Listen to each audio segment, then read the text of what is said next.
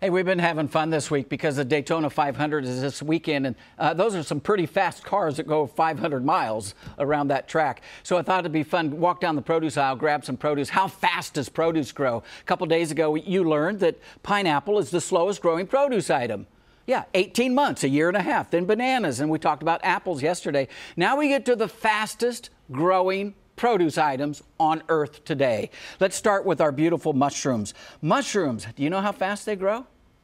They double in size every single day.